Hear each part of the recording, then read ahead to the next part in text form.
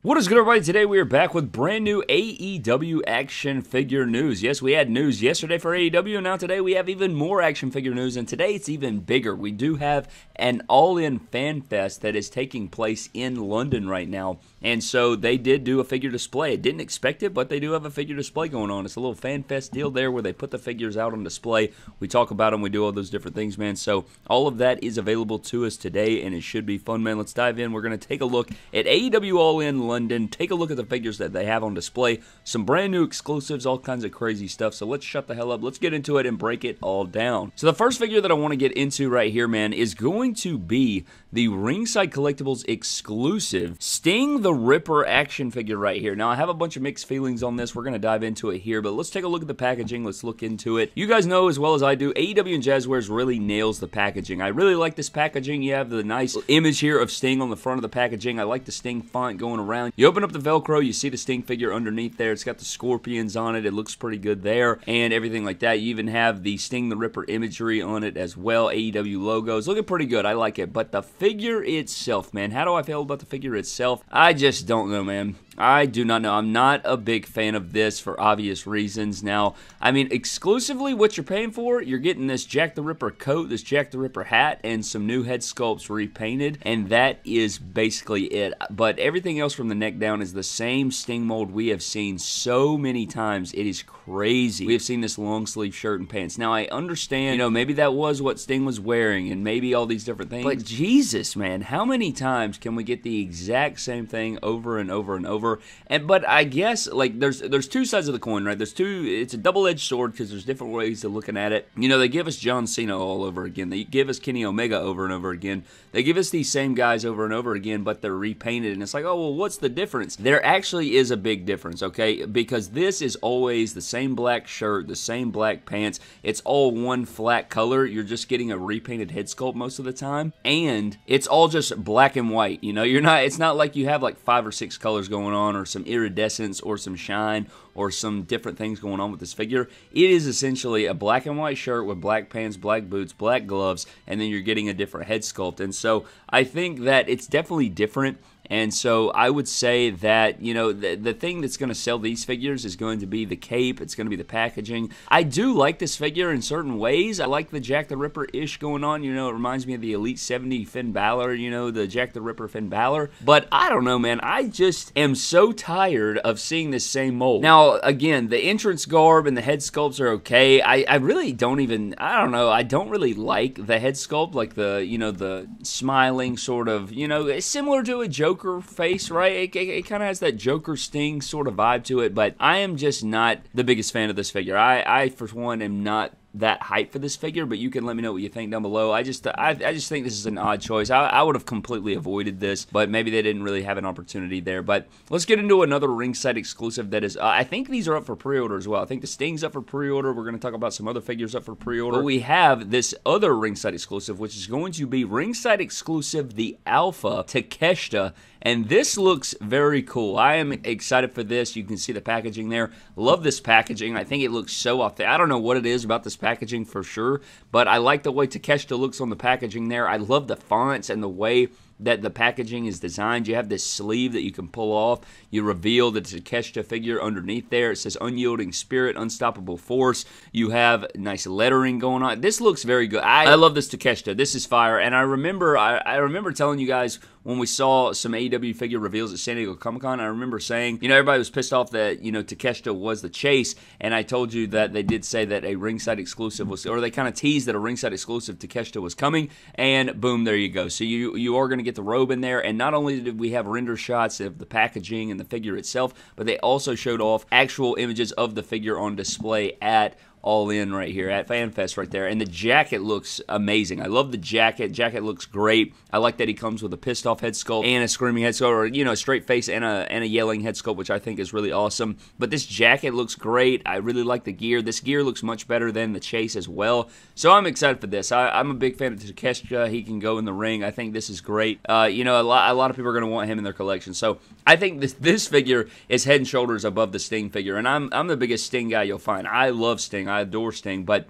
this is one of those that I think the Takeshita is making more noise for me personally. You can let me know. I want to know your thoughts on the on the Sting figure for sure because I think that it is a nice little discussion that can be had there. But the Takeshita figure is up for pre-order as well as the Sting on Ringside Collectibles. Now, also something that's up for pre-order on Ringside Collectibles is going to be AEW Unmatched Series 11. Now, this Unmatched Series 11 is going to feature Bryan Danielson. You have Will Ospreay, Darby Allin. We have Skye Blue. We have Jay White, and we do have our Sting figure, which we did see renders of these at San Diego Comic Con. If you guys want to grab those, you can go over there, pre-order them, all those different things. But we do have more figure reveals. I just want to put that up. If you guys are interested in getting these pre-orders in, AEW Unmatched Series 11 is up right now, and you can go grab those. But let's get into some more figures that were on display at All In Fan Fest, man. Let's get into it. We also had the Gunns on display, which look pretty good. All their tattoos and everything. This gear looks so damn good, man. It I, have been calling it. It's not a Statue of Liberty gear, but it reminds me of the Statue of Liberty. That like light mintish green. It reminds me of money. It reminds me of the Statue of Liberty for whatever reason. I don't know.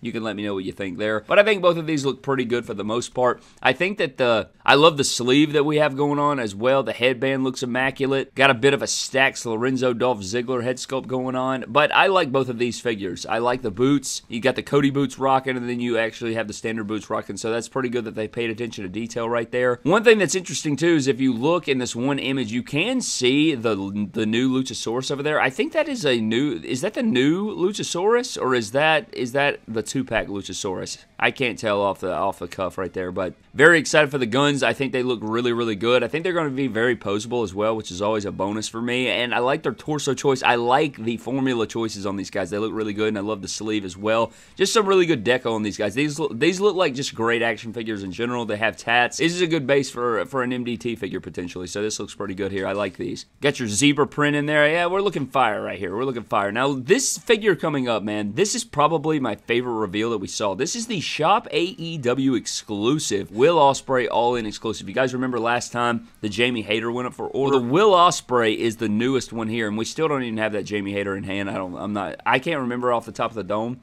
if people have actually received their Jamie Hayter. I never received mine, but we do have Will Ospreay right here. This figure looks so damn good, man. So damn good. And I the head sculpt. This is probably a prototype. I'll I'll be honest. This looks like a prototype to me. Like it looks like it's hand painted and everything. But the gear here, look at how detailed the gear is. Look at the gold belt, the red and blue and white. The coat on this is absolutely insane. You have the faux fur in there. You got the jacket. It looks amazing. You even have the flag on the back coming down. This is definitely my favorite reveal. And you guys know we have a Will Ospreay Supreme coming soon. We have other Ospreays that are coming soon. We have one that's going to be an Unmatched Series 11. So they're definitely going to be pumping out the Will Ospreay figures. But he looks like he is going to be so posable and feels so good in hand. I cannot wait for the Supreme figure. But this right here looks so damn good. This gear is immaculate. I am very excited for this figure. This is definitely but head and shoulders above the rest of the reveals in my opinion. I think this is such a good figure, but I did pre-order two of these. I'm going to keep one on ice, and I am going to open one of them, of course, in a review. We're going to talk about it and look at it. This Will Ospreay figure, though, looks like it could be figure of the year outside of the Supreme, but I don't know if that Supreme's even going to hit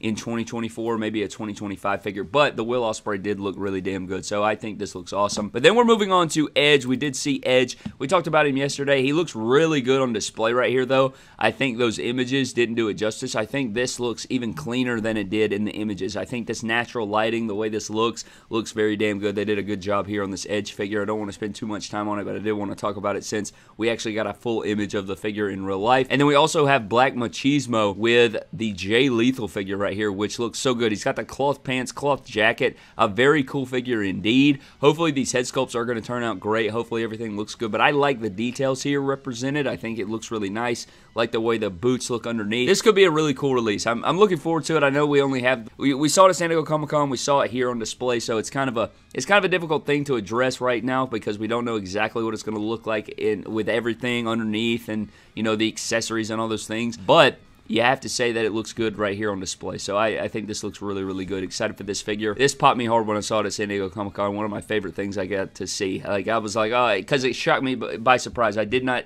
expect it going in. So that's always really fun. But next up, we also have the ringside exclusive Jay White. Now, I have a lot of feelings about this Jay White. I think from the neck down, it looks amazing. I love the red leather jacket. I love the gear. I like the boots. I like everything about the Switchblade. The head sculpt, man, not feeling this head sculpt whatsoever. I think it looks very weird here. I, I do not know what's going on there. And you can kind of have a better shot of that Luchasaurus that I was talking about. Is that the two pack one? I guess it is the two pack one. It just looks, I don't know, it looks weird. Like, I don't know, the paint apps look different here. Maybe it's just the lighting, but this Jay White head sculpt looks weird. I don't know. I, I don't really like it, and it looks like it's super oversized. But I guess we'll have to wait and see. But I like the way the Jay White looks. I just hope that you know, his head's not super duper oversized. You know what I mean? I hope that everything turns out and checks out. I do like the way that the gear and the jacket look. A very cool Jay White. Excited to get him in the collection finally. You know, never really had a, an official, really good looking Jay White figure in our collection, so this should be fun here. And then we do have a ringside exclusive look at the Orange Cassidy, which I do, I don't know how to feel about this one, man. I do like the white jacket, and I love Orange Cassidy. I think he's a fantastic talent, but I do not know how to feel about this. It is kind of the paper drawing exclusive, which is cool in a certain way. But I don't know. You do have the international championship there. It's it's definitely a moment in time. It's definitely one of those things where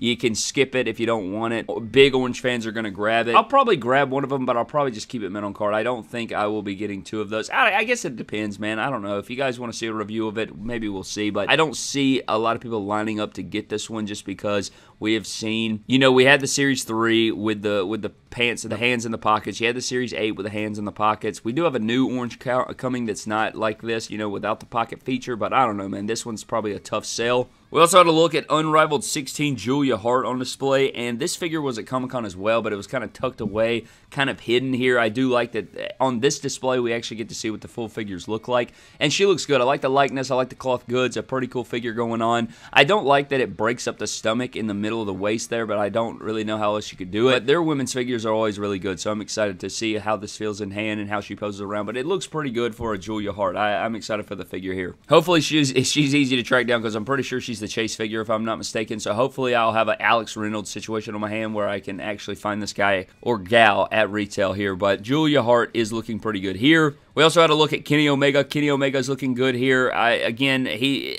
we've seen Kenny Omega so many times, but I'm such a big Kenny Omega fan. Doesn't matter how many they make. I, the formula's good. The paint apps look good. It'll pose around fantastic. That's all that matters here, and it, it looks really good. So I'm excited for the Kenny Omega, obviously. And then we got our timeless Toni Storm AEW ringside exclusive, which is going to be in the black and white, which I think is genius. This is a really cool figure here.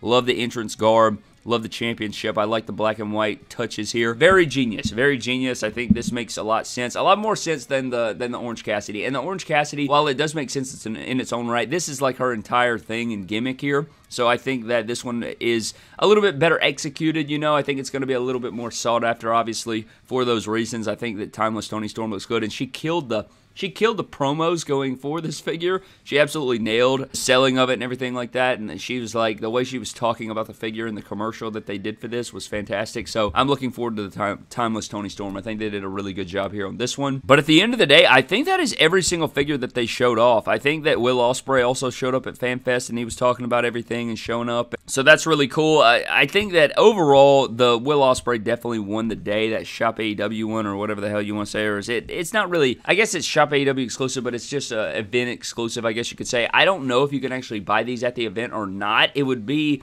it would shock me if you could because I know that I don't think you could buy the Jamie Hayter in person, or maybe you could. I, I can't even remember off the top of the dome, man, to be honest with you. So we'll have to see about all those different things. But at the end of the day, I think that is going to wrap up the AEW All In Fan Fest figure reveals and news. I wanted to get on here and make a video about this, obviously, because they were posted about it this morning. So I wanted to get this up as soon as possible. But I'd like to know what you think of all these figures, man. What do you think of all these new action figures that we're getting here today? Favorite reveals easily Will Ospreay, but what the hell do I know, Brad? I want you to let me know what you think down in the comment section below about all these things. But that's going to wrap up the video, man. Thank you guys for watching. Hope you guys did enjoy. Huge shout out to our Patreon members, man. Appreciate those fellas so much. I also apologize if my voice is gone. Had to coach a football game last night, so I am a bit, you know, voice is a bit rough there. But now I'm up watching College Game Day. Sheamus is on as the special guest, so it all works out, man. Looking forward to some football today. Looking forward to some football next week as well. But I'm getting the hell out, man. Thank you guys so very much for watching. Appreciate every single one of you guys. Love you. Peace out. See you next time.